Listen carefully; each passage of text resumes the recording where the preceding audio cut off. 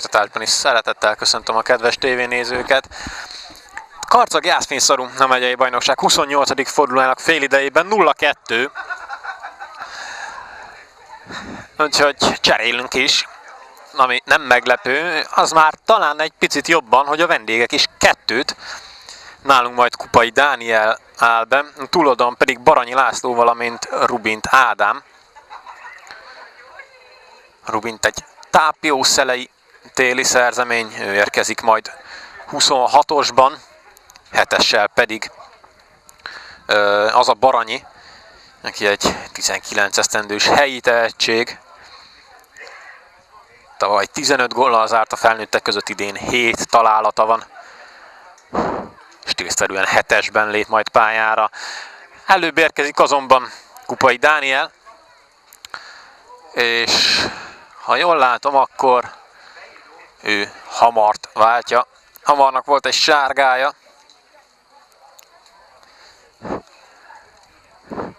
Lehet, hogy ez is közrejátszik a cserében. Egyelőre a túloldalon kijött le. Ezt mindjárt megnézzük. Ha jól látom, akkor Simon Bálint az, aki a középhátvéd pozíciójából hiányzik. Ő az egyik aki nincs ott, pedig pont azt akartam megfogalmazni az imént, hogy két új játékos középen, azonban mégis akkora összhangban játszottak az első félidőben, mint hogyha már évek óta együtt szerepeltek volna Majzikkal.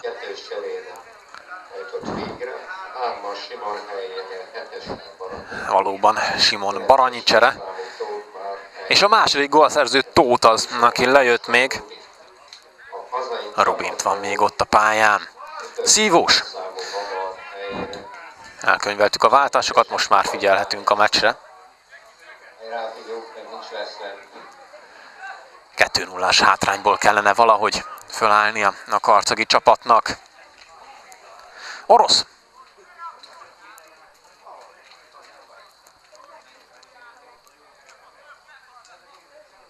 Erdei. Kocsis. Kupa jelengedi.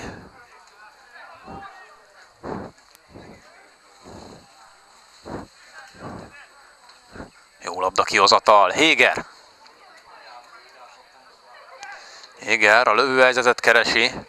Aztán inkább Tüdős Dávidot dobja a játékba. A Gócsi Csöndesek a karcagi szurkolók. Hát egyelőre a legnagyobb öröme azoknak van, aki a félidőben nyert tombolán. Más különösebb mosolyogni való ezen a mai délutánon egyelőre nem történt a karcagi szurkolókkal.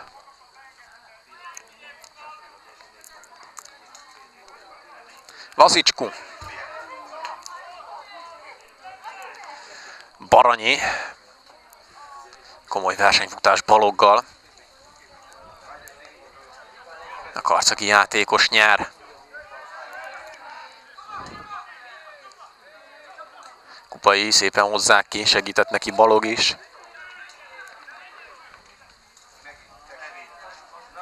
A hosszú indítások pedig továbbra sem ülnek. Ujás László ment vissza középhátvéd pozícióba Simon Bálint helyére nem posztra történt át a csere. Így könnyen lehet, hogy kényszerű okai voltak a váltásnak. Német megmászta Hégert, mindkettőjüknek fáj, németnek jobban.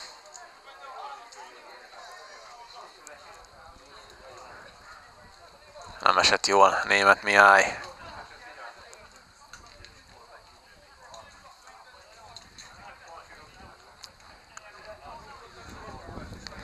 Megkérdezi tőle a vendégtől, hogy jól van-e, Isi?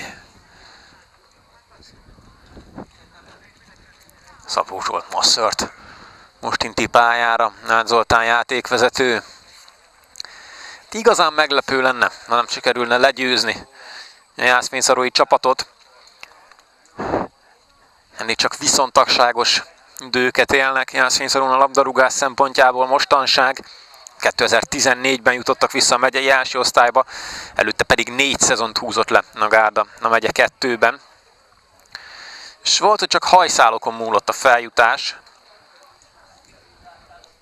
de aztán a 2013-14-es bajnokság végén elérték, azóta három mérkőzést játszottunk, mint hármat mi nyertük, 11-1-es gólkülönbséggel. Tavaly itt Karcagon 3-1-re diadalmaskodtunk, ősszel Jászfényszoron 3-0-ra, előtte pedig 5-öt rúgtunk idegenben. De egy kicsit távolabbra tekintünk vissza a két csapat történelmében még akkorra, amikor a megye kettő előtt első osztályok voltak, bizony akkor is a rendre győzedelmeskedtünk. Egy porszem került a gépezetbe még 2008-ban, akkor Karcagon 0-0 lett az eredmény. 9 meccsen 8 karcagi győzelem és egy egál Jászfényszorú tehát nem tudta legyőzni a karcagot. Ma lehet meg ez a fajta történelmi siker. Sokat vártak rá, de pont a tizedik meccsen összejöhet az első, amely a tabellánál foglalt helyezés alapján mindenképp bravúr lenne, az elmúlt hetek formája alapján már inkább kevésbé.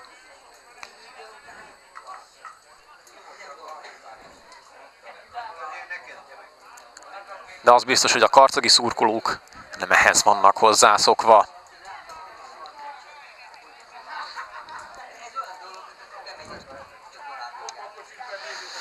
kupai alapda mögött. Nem rossz. Bukowski befutott középre. Nagy kár érte. Ugyanis pont a helyére ment a labda, aztán meg kiengedi Bukó. Így a vendégeké. Daninak egyébként jól szokott menni Jászfényszarú ellen. Ezen az elmúlt három meccsen mint háromszor eredményes tudott lenni Bukowski. Összesen négy gólt rugott a jelenlegi keretből egyébként még Árdainak van két találata, Szívós Gergőnek és Orosz Istvánnak pedig egy-egy ellenük. Orosznak még, ahogy mondottam, 2007-ből.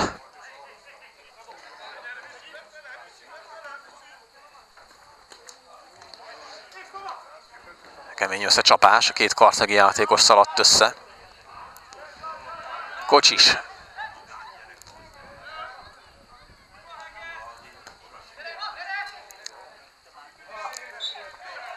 tüdős. Lökött egy picit Bukowskin.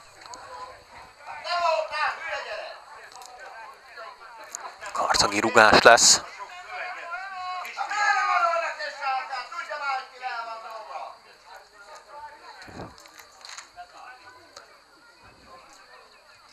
Szívós. Hosszú. Elpaskolja a kapus, aztán már föl is pattan, nincsen azonban újabb veszély, ráadásul Radovics kivezetheti a labdát, és akár egy gyors kontrát is indíthat, ez nem történik meg. Vasicskó is inkább visszazár, és kap egy szabad rugást. Erdei rugott oda picit a két kopasz, lepacsizik aztán egymással.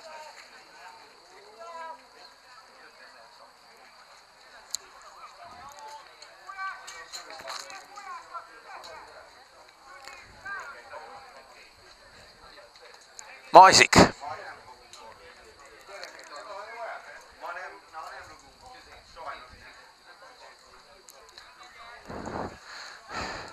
Kocsi szépen szerel.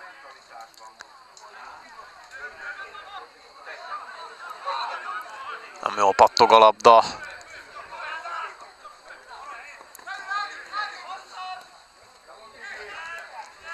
tüdős.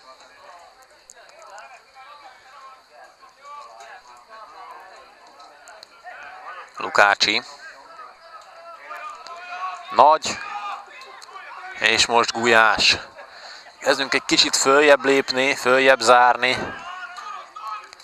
Sikerül azonban áthámozni a labdát a karcagiakon. Ráadásul ez a spiccel történő indítás még remek is Baranyinak. Szöglet a vége.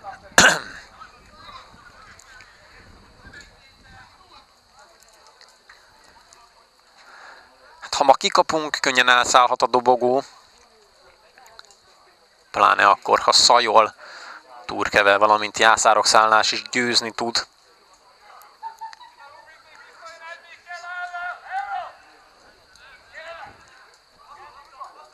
az utolsó két fordulóban egyébként a kiesés elől menekülő kisújszállás ellen játszunk majd idegenben, az fordulóban pedig Tiszaföldvárt fogadjuk.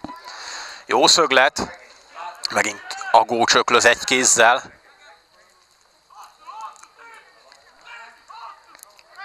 Igen, nem értetek egyet Gulyással. Mehetne egy gyors karcagi támadás. A csatár azonban az, aki visszazár és visszaszerzi a labdát. Kupai. Ügyesen fejelt ezt most haza Kupai Dániel a gócsnak. Most már Kupai Krisztián csapna rá a labdára. Rubint oldja meg. Nem volt a legkönnyebb helyzet. Kihozta belőle talán a lehető legtöbbet ott hátul. Erdei jó csúsztatás, és ott a gól! Bukowski Dani az 55. percben szinte a semmiből visszahozza a meccsbe a karcagot. Erdei nagyon jól vette észre, hogy a középen Bukowski üresen emelkedhet. Ügyes volt a csúsztatás Danitól, és ki folytatja a jó sorozatát. Jászfényszorú ellen egy-kettő és több mint fél óra van még a mérkőzésből. Újra nyílt lehet az összecsapás, ha elhiszi a karcagi csapat, hogy bizony lehet keresni valója a találkozón.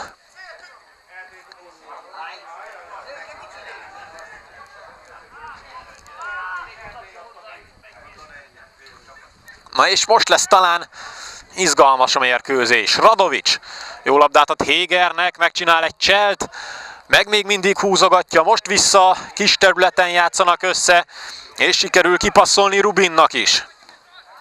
Visszapattan rá. Alapból Zsolt asszisztens is így látta. A Gócs jöhet kirugással.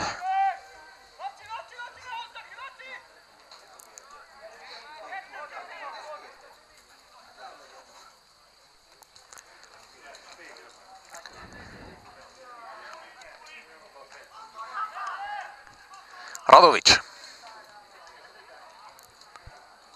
Orosz. Erdei. A második félidők egyébként az elmúlt hetekben jobban mennek a JVS-ének. Ugye Füred ellen is négyet rúgtak a második játék részben, előtte Szajol ellen pedig hármat. Éger azon a meccsen a 92 és a 94. percben is betalált.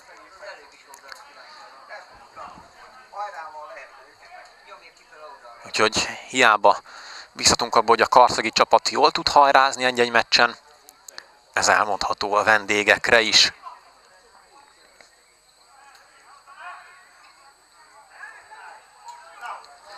Kupai, most a beadás, rezdül a háló, de csak oldalról. Megpróbálta megtréfálni Juhász kapust, Kupai Krisztián kis hián össze is jött a gól. Jó lenne, hogyha átszakítana egy gátat Bukowski találata a karcagiakban, és egy kicsit önfelettebben és magabiztosabban futballoznánk. Lukácsi. Balog. Német.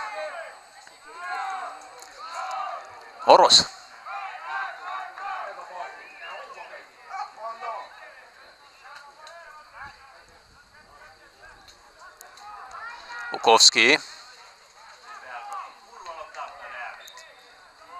Karcagi dobás. Kupai.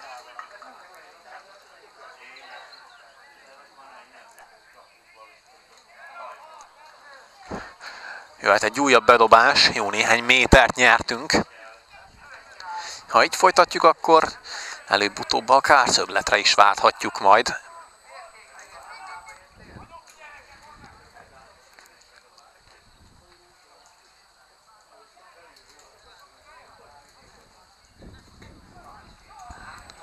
Szőkén löknek egyet, de ott pattog még a labda.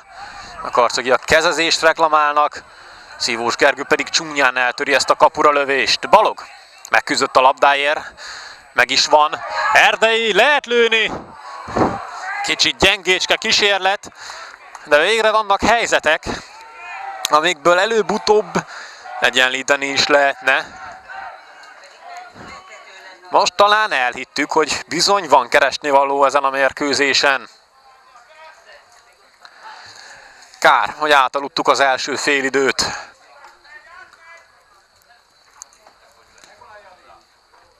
Orosz. Kocsis. Szeret pózolni Kocsis a kamerának, és ma úgy hozta a sors, hogy mind a kétszer hozzánk közelebb eső oldalon vitézkedik. Kupai beállásával ugyanis ő lett a bal hátvéd, az elsőben meg ugye jobbekként robotolt végig. Tüdős. Lukácsi.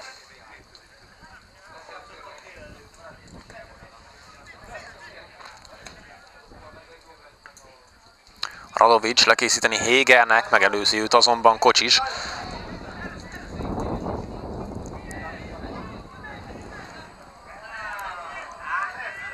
Gulyás.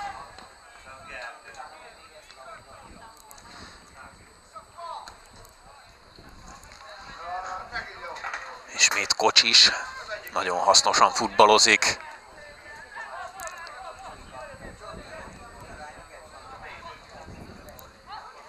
Szívós.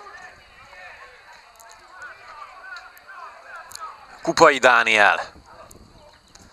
Vasicskú a levegőből szedi le az erdeinek szánt labdát. Orosz meg eladja balokfaltól egy sárga lapért.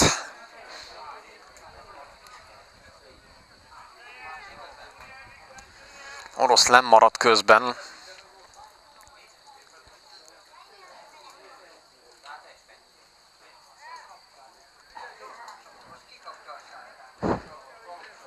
Jöhet majd szabad rugás. Orosz közben visszaér a helyére.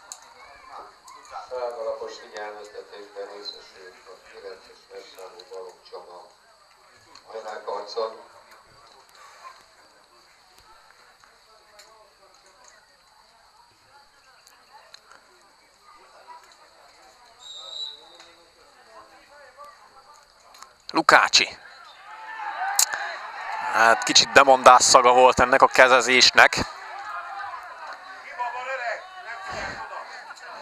Hát Zoltán sípolt.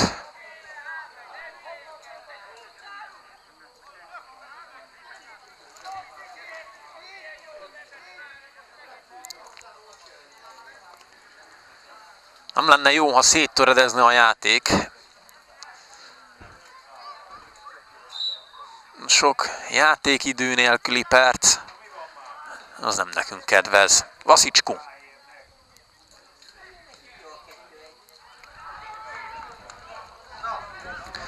Szőke. Bukowski már indul. Nem tudom, mi volt az elképzelés. Ez körülbelül a szilveszteri műsorban lenne alkalmas. Pocsék megoldás volt. Föl sem nézett. Lehet, hogy kapura akarta rugni. De ez csak egy ilyen kis naív feltételezés innen föntről. Felálltsuk is el gyorsan. Koncentráljunk inkább a játékra. Kupai Dániel dobhat. Baranyi. Jönnek a hibák azért a túloldalon is.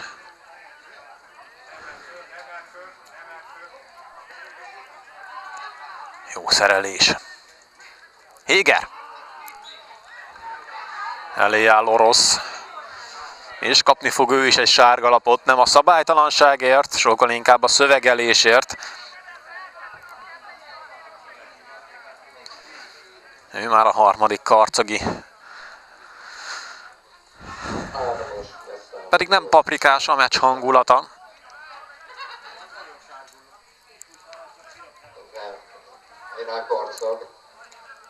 Fejben nem vagyunk ott inkább.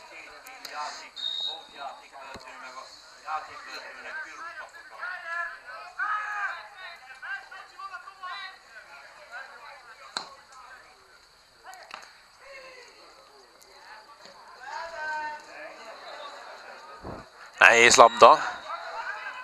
Orosz és Héger. Második fölvonás. Alig, ha közösen ülik meg a vas vasárnapi ebédet. Nincsenek túl jóban.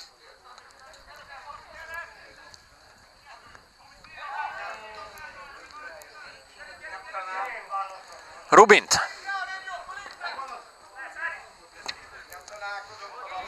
Most sikerül megkerülni Kocsist, és nagyon jó a csel némettel szemben is. Rubint egyel tovább, ez talán kicsit fölösleges passz volt, pláne így Radovics Hagócshoz pörget. Lőni is lehetett volna. Ezzel a mély passzal megakadt a támadás.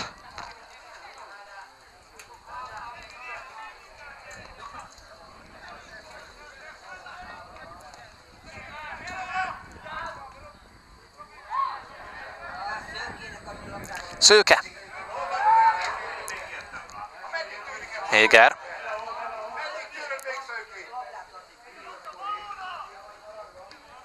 Tüdős.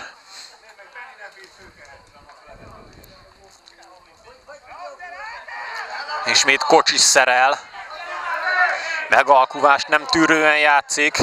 Még akkor is, hogyha ez a labdája nem a legjobb volt.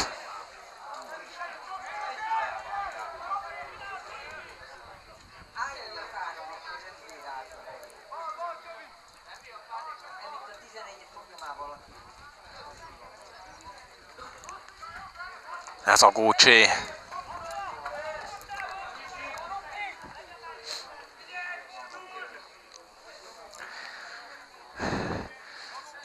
Tíz perce szépítettünk, azóta csak egy helyzet közvetlenül a gól után.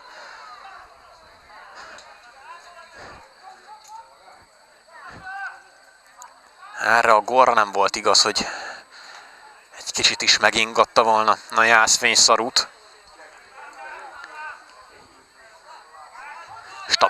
tudtak maradni a vendégek.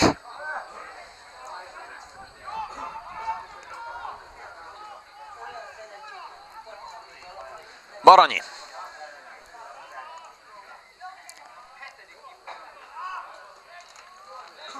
Német.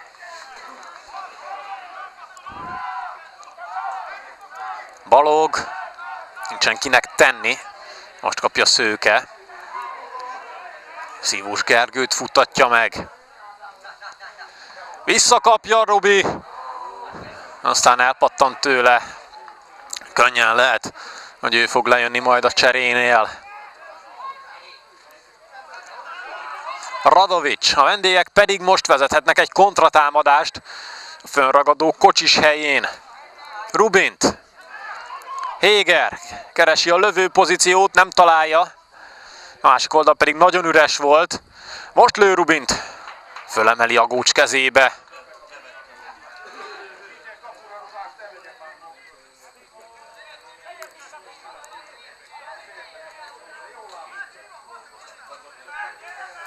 Bukowski.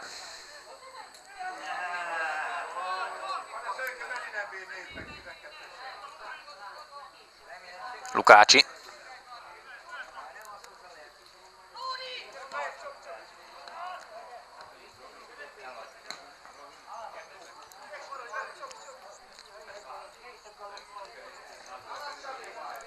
Lehet fölborítani sem Radovicsot, aztán a lábon rúgják, az már hatásos. Kocsis volt szabálytalan. Vigyáznia kellene Kocsisnak. A tizedik sárga ott lebeg a levegőben. És valóban Szőke Robi jön le. Szőke Norbert a helyén. Két szőke tehát egyszerre nincs a pályán. Szőke Norbi pedig ebben a bajnokságban először Tavaly 12 mérkőzésen rugott három gólt a felnőtt csapatban, és aztán nyáron úgy volt, hogy ő bizony befejezte a felnőtt focit. Ennek ellenére meglepetésként a bajnokság 28. fordulójában a szezonban először ott van a keretben, és csereként pályára lépve egy bő 20 percet kap is a bizonyításra. Lukácsi a labda mögött. Kicsiben elvégzett szabadrugás. Gulyás. Orosz blokkol.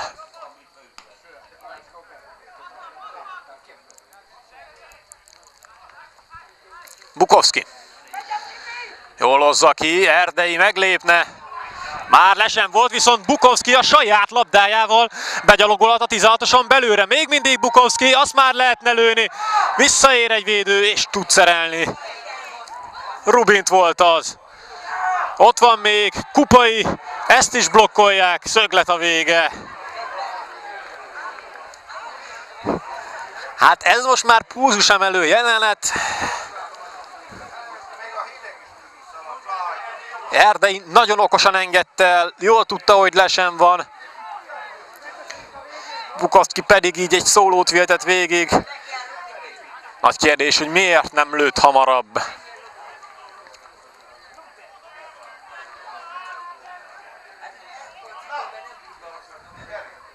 Na, van még 20 perc előre az egyenlítésért. Jól kanyarodik, meg is van a fejes szőke Norbitól, ha jól láttam. Kirugással jöhet a kapus.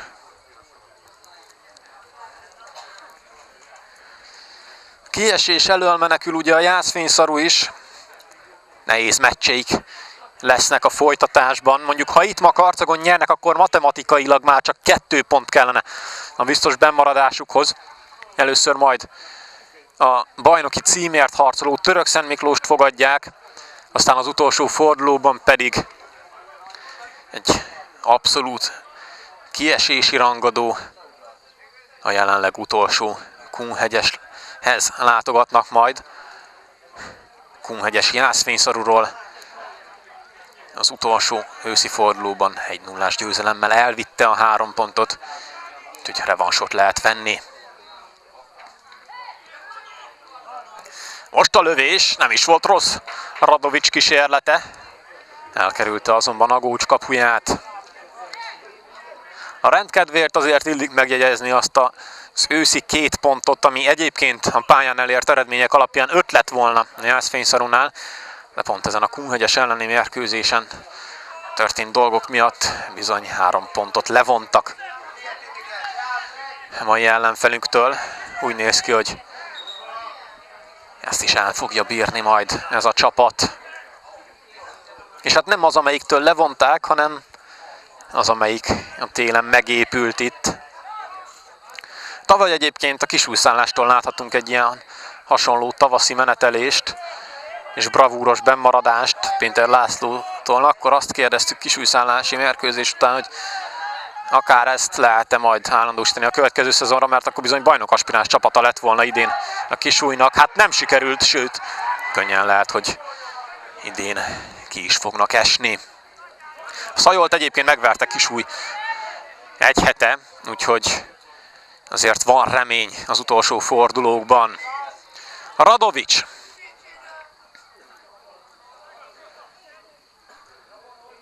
Szőke Norbert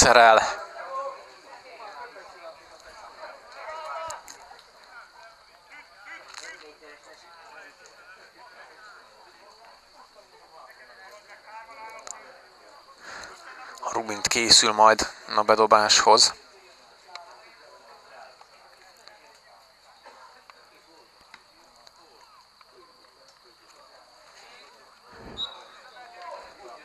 A karcagiak jöhetnek.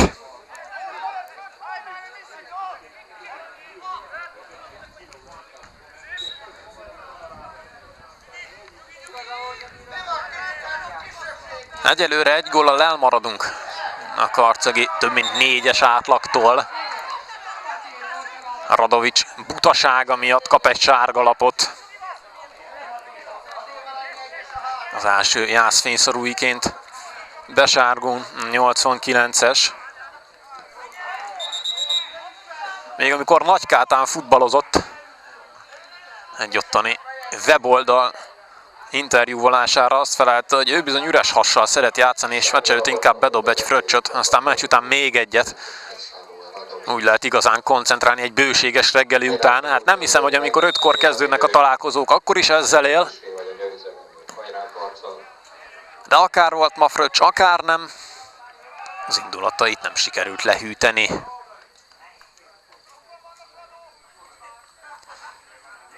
Ehhez a szólóhoz viszont kellő erőt adott. Még mindig ő.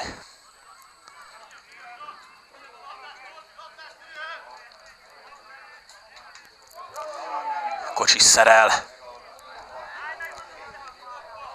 Jászfényszorúnak a bajnokságban voltam úgy 10 gólos meccse is. 9-1-re kaptak ki még össze Turkevén. Múlt héten ugye 9-et produkáltak, de ez megesett velük kisújszálláson is, ott is kikaptak. Többször is játszottak 8 gólos találkozót. Ma azért nem potyognak ilyen ütemben a gólok. És hát hosszú idő után mi lehetünk az első csapat, amelynek nem tudnak négyet rugni. Egyelőre azonban az a kettő is, amit eddig szereztek, három pontot érhet.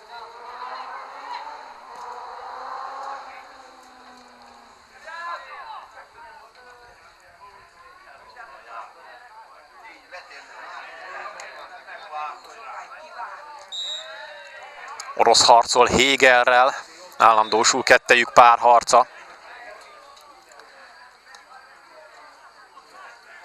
Tartogat még ezt-azt a hátralévő negyed órában is majd.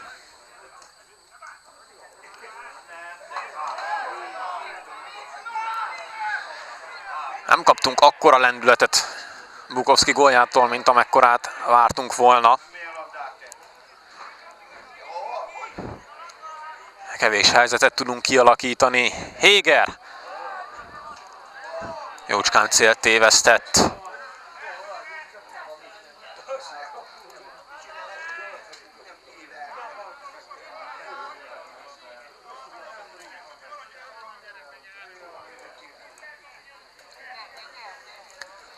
Német. Kifelé kanyarodik is tudja megmenteni Erdei, aztán egy kartlegyintéssel abszolválja a helyzetet. Erre már ő se tud mit mondani.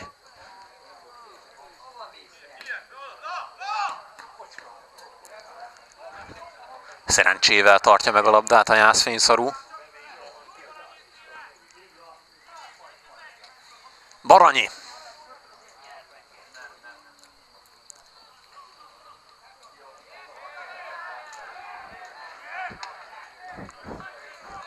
Kupai férfiasan szerel.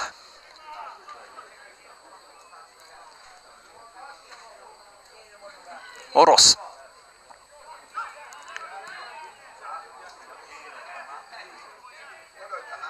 Radovics.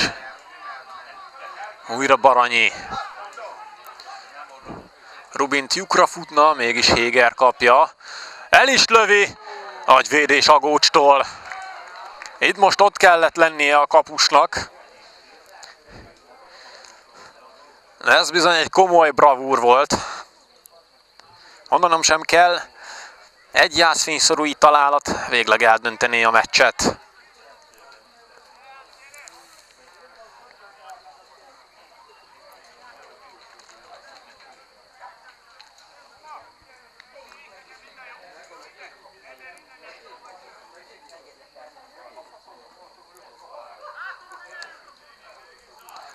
Lukácsi. az állandó végrehajtója a vendégszögleteknek. Ezt most nem végezte el jól, Osszum mégis megtartják a labdát. Agúcs meg leszedi a levegőből. Elpörög a kirúgás. Így is a miénk. Erdei. Nem vettük észre sajnos Bukovskit. Óriási sprintelt pedig a labdáért. Teljesen egyedül, teljesen üres területen. És hát azért a játékvezetők sorsa is furcsa. Mármint ami a két asszisztenst illeti, Dobos Zsolt Páholyból, egész meccsen az árnyékból. A túloldalon Simon Ádám végig a tűző napon lenget. Ez így jött össze ma. Nincsen szabálytalanság, szívós. Nem volt jó a beadás, túl sok erőt vitt bele. Bukovszki meg szépen szerelés ott tartja. Aztán pedig pörög siet. Odaadja a labdát az ellenfélnek. Ők meg ott hagyják.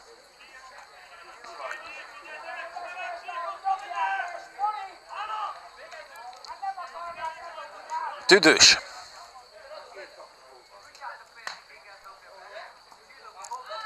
Bukowski. Kupainek kell kirúgni a labdát.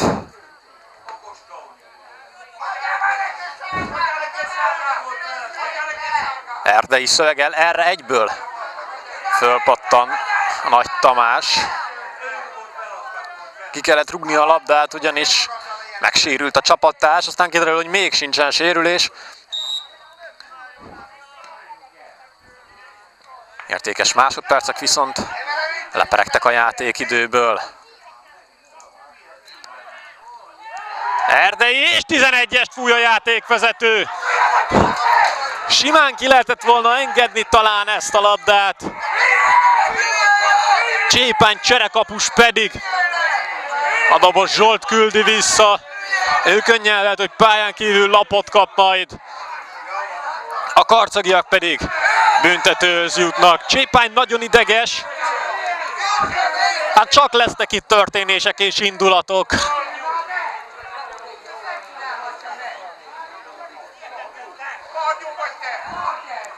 Büntetőhöz jut a karcagi csapat.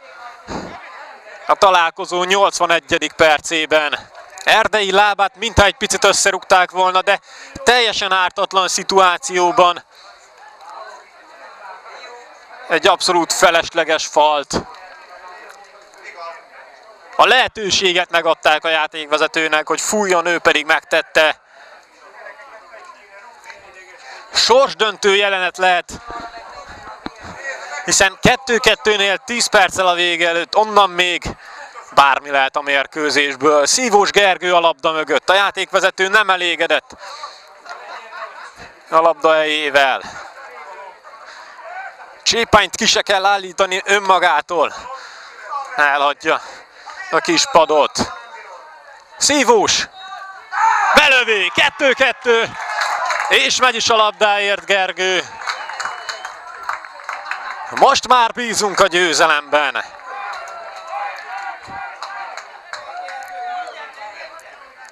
A 82. percbe csúszik át a gól.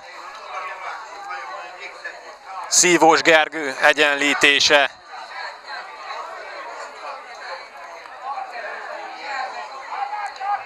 Na és most nagyon érdekes hajrá jön. A félidőben 2-0-ra vezetett Jászfényszarú. A 82. percen 2-2 az eredményjelzőn. És nem ritka mostanában Karcagon a föltámadás. Ezt tette két hetet Csépa csapata is, akkor mi vezettünk 2 0 a szünetben, és lett a vége döntetlen.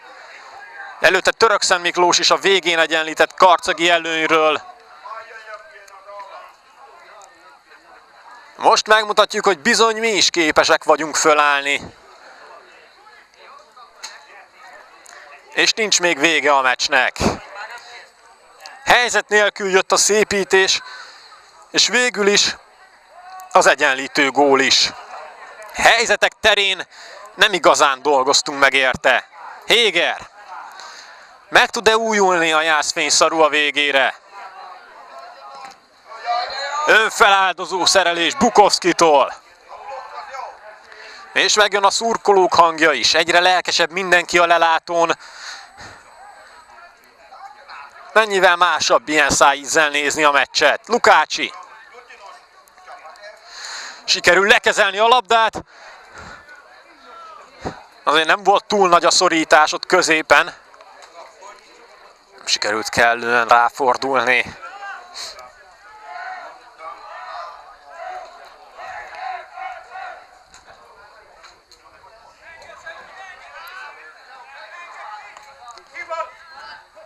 Már kint ért hozzá nagy ezek szerint. Szőke, jó megoldás. Ilyen hosszú kihagyás után is jól száll be a játékba Szőke Norbert. Orosz.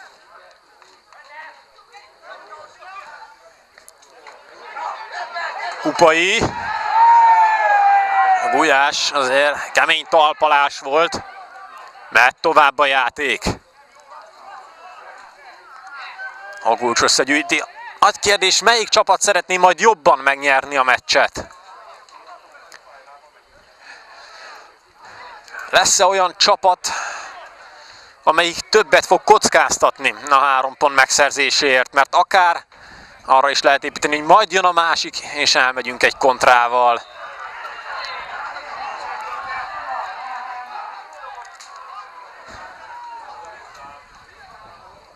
Az bizonyos, hogy mindkét csapat nagyon ideges. És akármi is lesz a vége, mindkét félnek lesz hiányérzete a kettő-kettő miatt. Ha így marad. Ha pedig valamelyik csapat nyer, annak természetesen nem, de amelyik veszít, az mindenféleképp akár három pontot is benne adhat a meccsbe, legalábbis érezheti majd így. De erre térjünk vissza pár perc múlva. 86-ban járunk. Lukácsi. Elszórakozott szabadrugás. Agócs pedig egyből dobja kocsis elé. Erdei. Lesz-e slusszpoén? Bukowski. 17-esek csatáját a sárga-fekete nyeri.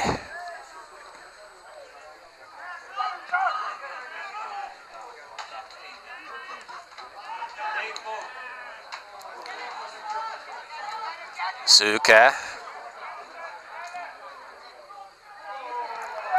Vasicskú. Még mindig ő, és most már fölényben a vendégek. Héger, Agócs kap bele, nagyon nagy védés.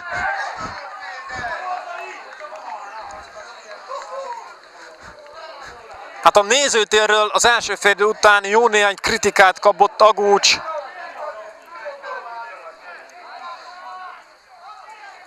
A második játékrészben két hégerlőésnél is emberfeletti bravúrral.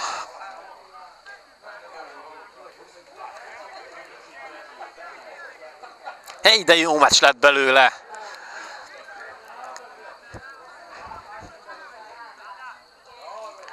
Lukácsi. Szőke Norbert fejeli el. Baranyi nem pattant rá a kezére ezek szerint. Kupai. Héger le tudja kezelni, és aztán Kocsis rúgja el előle. Aztán Kocsist fenéken. Óriásit küzd Kocsis János a kartagi csapatban. Be is görcsöl, nem csoda.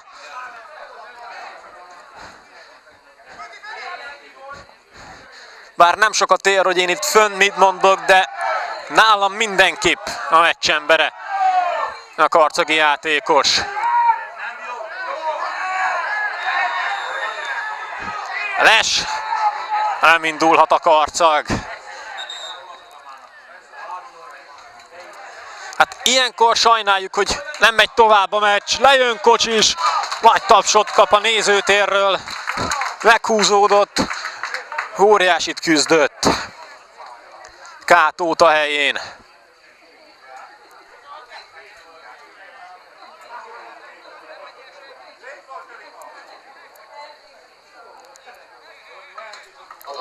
Csaba cserél, a testszálló kocsis Nani helyére, 16-osra Kártórucs, Na mi lesz a vége? Gulyás a labda mögött. Megtörtént a könyvelés a csere után. Héger.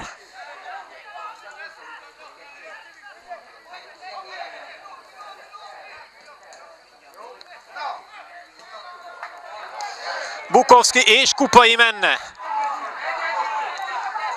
Még mindig Bukowski, most kapja meg Kupai. Rövid azonban az indítás. Majziki, aztán pedig kis hián elcsípi a labdát. Szőke. Most Kupai. Kibújik, és még mindig Krisztián. Blokkolják a lövést. Bukowski a földön. Lukácsi pedig sportszerűen partvonalon túlra rúgja a labdát.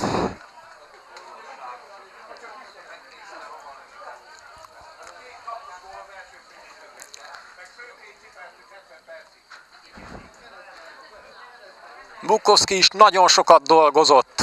Szívét, lelkét a pályán hagyja.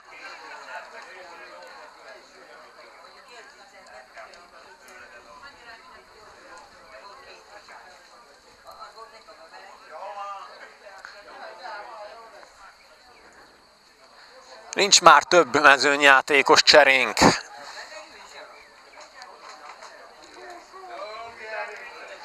A 90 perc a végéhez közeledik. Ennyi lesz vajon a ráadás. Azért a büntető előtt is egy-két percet állt a játék. Voltak cserék.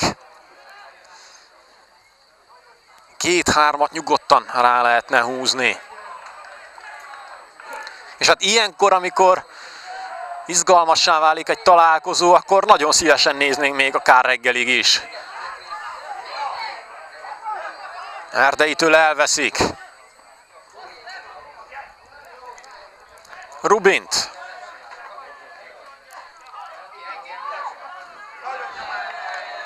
Bukowski összeszedi magát és szerel. Ácsi játékvezető meg gondol egyet, és hiába történt néhány esemény a második félidőben úgy dönt, hogy nem húz rá sokat. Kettő-kettővel ér véget a 28. forduló karcag érdekeltségű meccse.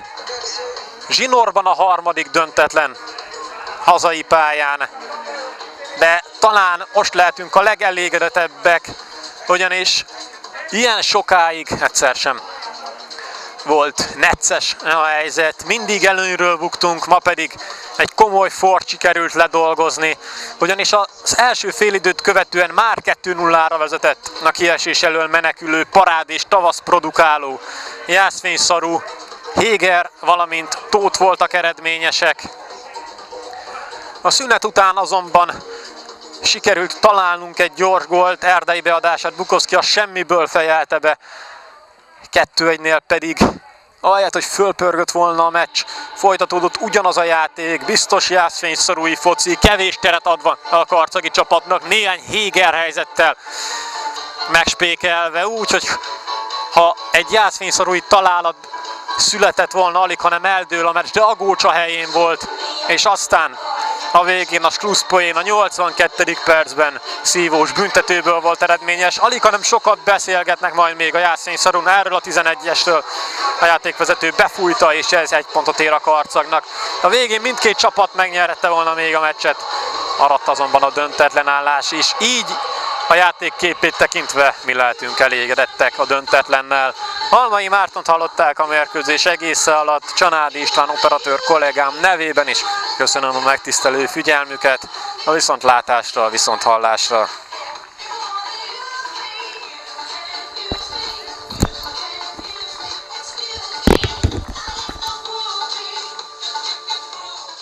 Elsőként a Jászfény szarúi oldalról ö, vezetőedzőről beszélgetünk. Hát 2 0 félidő után nem jött össze a győzelem. Ezért a végén egy elég érdekes végjáték. Hogy lehet így értékelni? Hát nagyon nehezen. Én azt gondoltam a félidőben, hogy a 2 0 vezetésünk után meg tudjuk tartani az előnyünket. Azt sejtettem, hogy a orosz kollégám, Pista kollégám biztos, hogy le fogja teremteni a csapatát, és biztos, hogy nekünk fognak jönni. Nem volt akkora lendület, mint amennyi korára én számítottam, viszont azért többet birtokolták már a labdát a karcagiak, mint az első félidőben. Az első gól az nagyon szép, egy beadás után fejesből tudtak szépíteni, viszont a második gól a 11-essel egy kicsit tudnék vitatkozni, de úgy gondolom, hogy az igazságos a döntetlen. Azért annak ellenére, hogy a mai meccsben benne maradt két pont, igazán bravúrosan szerepel e, tavasszal a csapat. Egy ilyen ősz után hogy lehetett ekkora fordulatot venni a csapatnál? Hát köszönjük előre, vagy köszönjük.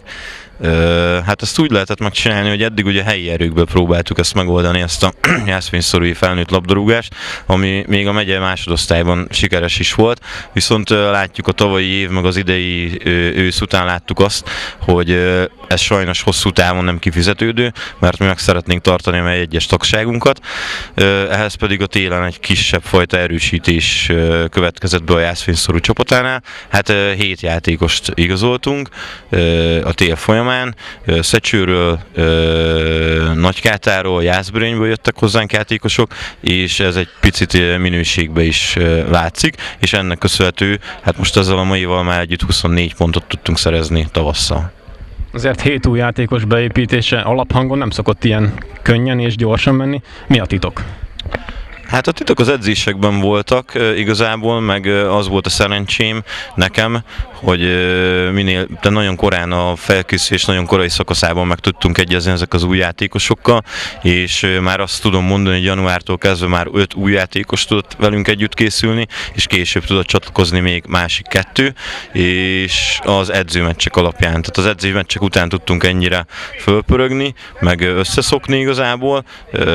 Volt egy három-négy olyan edzőmeccs, amikor már szinte teljes kerettel tudtunk készülni, és ennek az lett az eredménye, hogy tavasszal egy sokkal, de sokkal biztatóbb ban tudtunk teljesíteni. Két meccs van még vissza, Török Szent Miklós, valamint Kunhagyas lesz az ellenfél. Meg lesz a bennmaradás? Nem akarok elhamarkodott és nagyképű kijelentést tenni, de én úgy érzem, hogy meg lesz a bennmaradás. Mm, attól függetlenül, hogy egy nagyon jó Török Szent Miklóssal játszunk nagyon jó a sorsolásunk, mert az utolsó öt fordulóban az első négyet kaptuk meg, a Szajó, a Tiszafüret, Karcag, Török Szemiklós személyében, úgyhogy nem egyszerű. Hát ebből most ugye egy egyet tudtunk húzni, a Füredet sajnos nem tudtuk, most itt csináltunk egy döttetlent, hát most akkor a mindegyik háromból már van egy, úgyhogy úgy gondolom, hogy a győzelem lesz a következő, és akkor már talán meg tudunk nyugodni. Unegyes ellen meg én azt szeretném, az a terv, hogy ott már csak egy tét nélkül mérkőzést játszunk. Akkor, hogyha összejönne a bennmaradás, alig hanem ez a mostani csapat együtt maradna, és akár egy érmesebb álmokért való küzdelem is szóba jöhetne? Igen, ez a terv, a vezetőség és az én tervem is az, hogy mindenképpen együtt tartani a csapatot.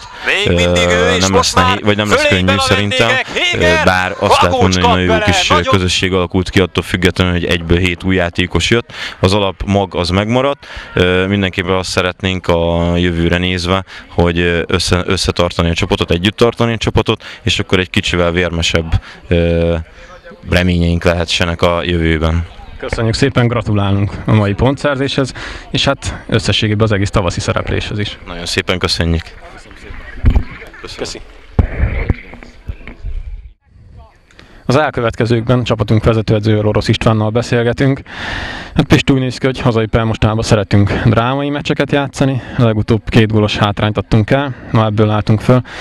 Hogy láttad a találkozót belülről? Hát az a baj, igen, hogy drámai mérkőzéseket játszunk, de ezt mind magunknak köszönhetjük. Hát elmúlt két, vagyis a múlt két hete csépát simán az első fél le kellett, volna, le kellett volna rendeznünk, és akkor begyűjtöttük volna a három pontot. Most meg azt mondom, hogy ha úgy játszunk, mint a második fél időben, akkor megint meg lett volna a mérkőzés.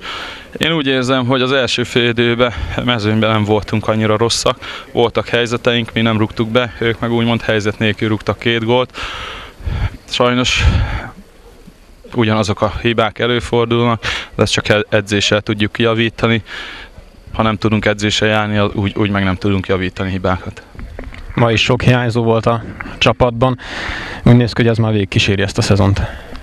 Hát hozzá vagyunk szokva, ez a, megint mondom, az amatőrizmus, hogy sajnos azokra tudunk számítani, akik ráérnek, vagy, vagy, vagy tudják vállalni a mérkőzést. Vannak hiányzóink is, ezért vagyunk egy csapat, nem nagy csapat, meg szűk csapat vagyunk, mert sajnos 15-en vagyunk.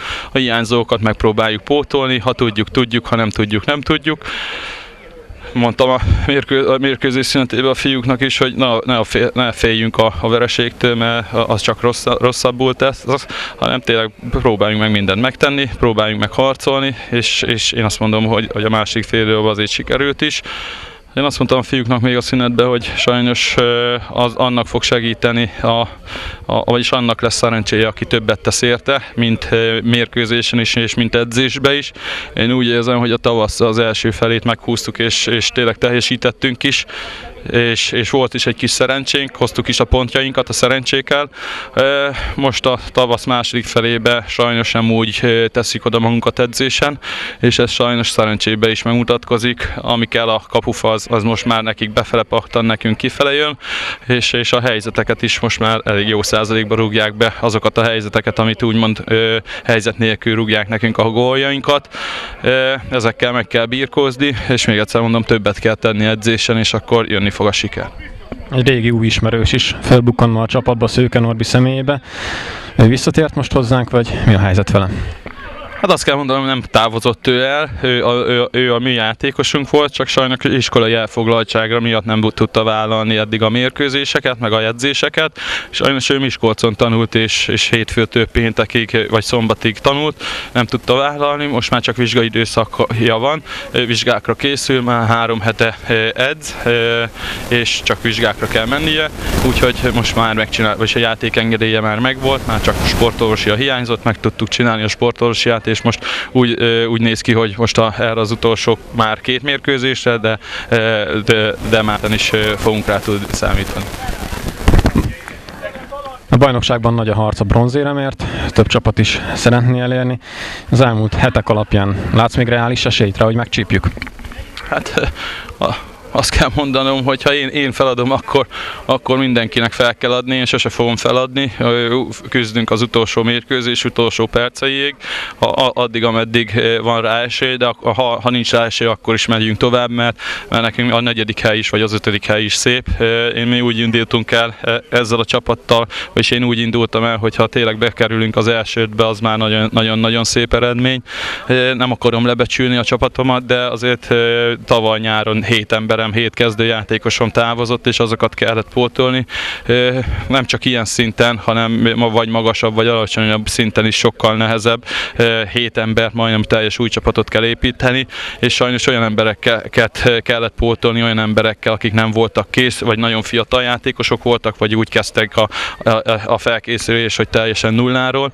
Úgyhogy én azt mondom, hogy sose fogjuk feladni, van még két mérkőzés, megpróbáljuk a hat pontot begyűjteni, ha nem sikerül, nem sikerül, még szerintem meg fogunk tenni mindent, és ahogy, ahol elérjük azok, azt a helyezést, azt, annak mindenféleképpen örülni fogunk. Ez a harmadik hely, akkor a harmadiknak, ha ötödik, akkor ötödiknek. Orosz Istvánnak köszönjük szépen a mai pontszerzéshez pedig gratulálunk. Köszönjük szépen.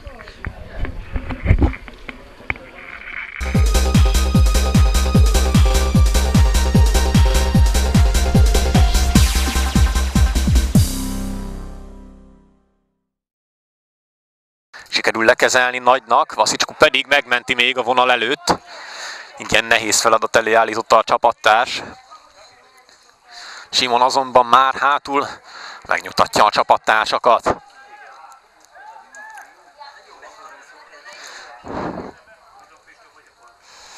Védők mögé belőtt labda, Éger, kiváló labdakezelés, és megvan az első helyzet, nem is kellett sokat várni rá a tizedik percben komoly kapura lövés, kimarad azonban. Remek labda szerzés. Újra mi kész, mi kezdhetjük meg hátulról a támadás vezetést. Erdei combal szelídíti meg, egyel tovább, és most Szívós Gergő, most a lövés, nagy védés, rástartol szőke. Remélhetőleg nem találta a kapust, fogja a fejét Juhász. Most már volt komoly karcegi gólszerzési lehetőség is.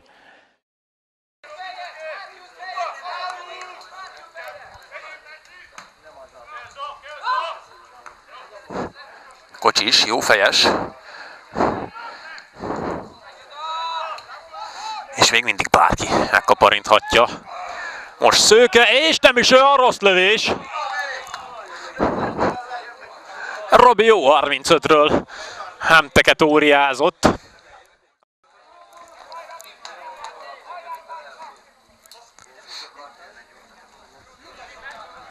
Majzik.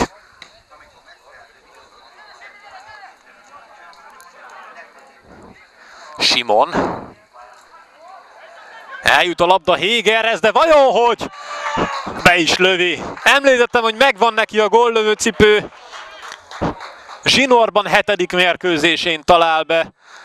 Elaludt most a karcagi védelem a 22. percben. Héger balosa után 0-1. Kupai. Onnan lőni lehetett volna. Talán majd most. Nem volt jó a labdakezelés. Héger. Orosz megelőzi fejjel. Kucsis meg fölvágja. Megint majzik. Erdei. Túl mély. Ezt nem használhatjuk.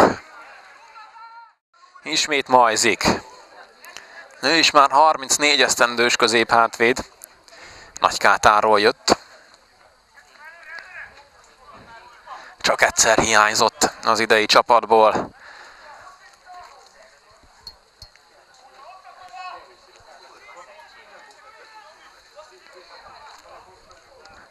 És egyébként nagyon érdekes az ő szerepe. Hangos szóval rendre irányítja a társakat hátulról.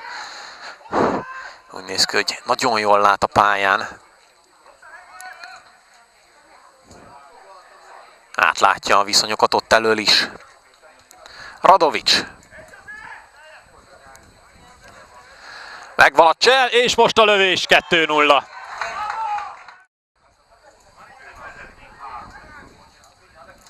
Orosz.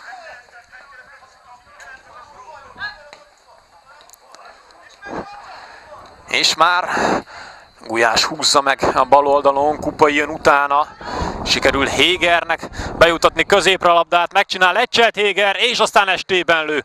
Agócsnak most sikerül védeni. Jó játék, egyel tovább, Radovics nem találja el középen. Ez is nagy helyzet lehetett volna.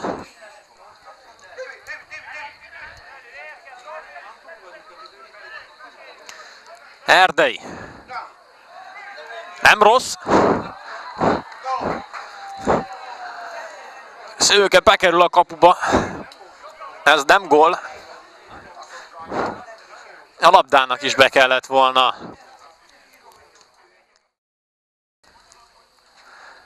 Ha ma kikapunk, könnyen elszállhat a dobogó.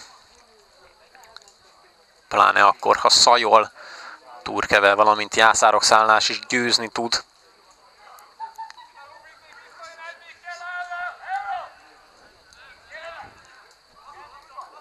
Az utolsó két fordulóban egyébként a kiesés elől menekülő kisújszállás ellen játszunk majd idegenben, a záró fordulóban pedig Tiszaföldvárt fogadjuk. Jó szöglet, megint Agó csöklöz egy kézzel. Kupai. Ügyesen fejelt ezt most haza Kupai Dániel Agócsnak. Most már Kupai Krisztián csapna rá a labdára. Rubint oldja meg. Nem volt a legkönnyebb helyzet. Kihozta belőle talán a lehető legtöbbet ott hátul. Erdei. Jó csúsztatás, és ott a gól! Bukowski Dani az 55. percben szinte a semmiből visszahozza a meccsbe a karcagot. Úgyhogy hiába bízhatunk abba, hogy a karcagi csapat jól tud hajrázni egy-egy meccsen. Ez elmondható a vendégekre is.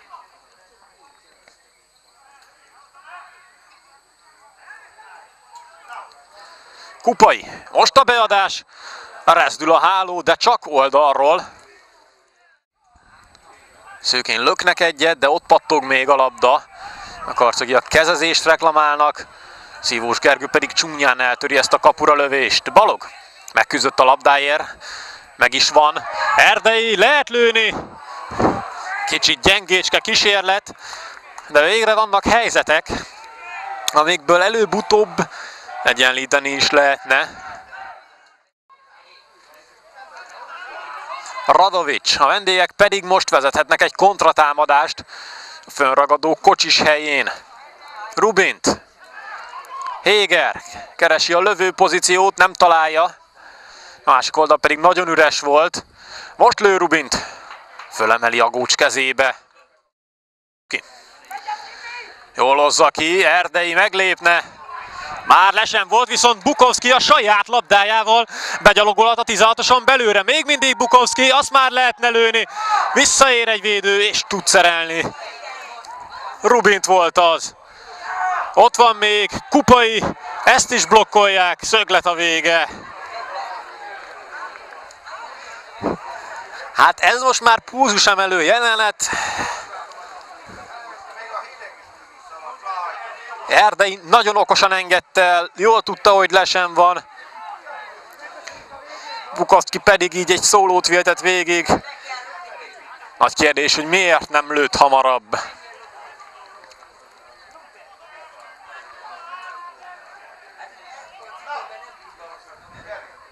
Na, van még 20 perc előre az egyenlítésért.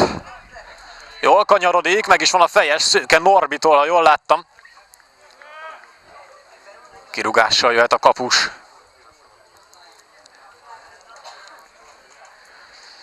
Kiesés elől menekül ugye a jászfényszarú is. Nehéz meccseik lesznek a folytatásban. Mondjuk, ha itt ma Karcagon nyernek, akkor matematikailag már csak kettő pont kellene a biztos bemaradásukhoz. Először majd a bajnoki címért harcoló Török Szent Miklóst fogadják, aztán az utolsó fordulóban pedig egy abszolút kiesési rangadó, a jelenleg utolsó Kunhegyeshez látogatnak majd.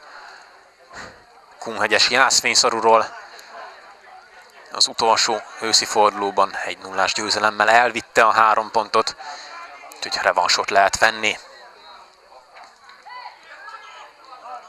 Most a lövés nem is volt rossz. Radovics kísérlete. Elkerülte azonban a gócs kapuját.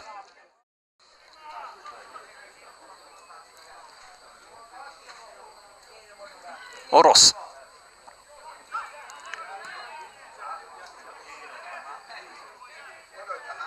Radovics. Újra Baranyi. Rubint lyukra futna, mégis Héger kapja. El is lövi. Agyvédés Agócstól. Erdei és 11-est fúj a játékvezető.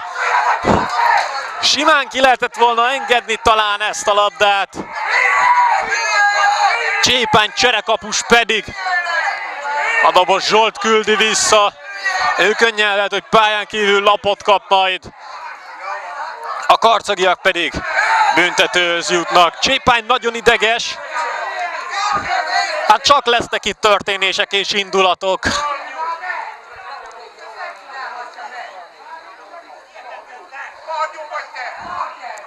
Büntetőhöz jut a karcagi csapat.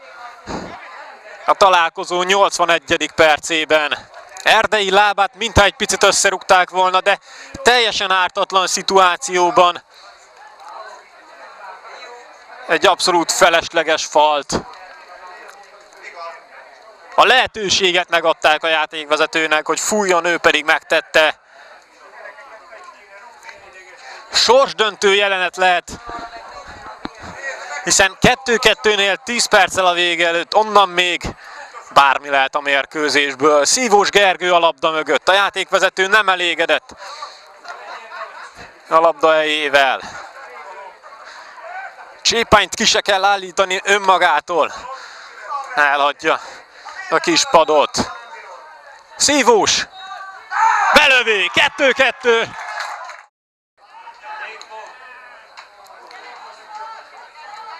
Szőke. Vasicskú. Még mindig ő, és most már fölényben a vendégek. Héger, Agócs kap bele, nagyon nagy védés.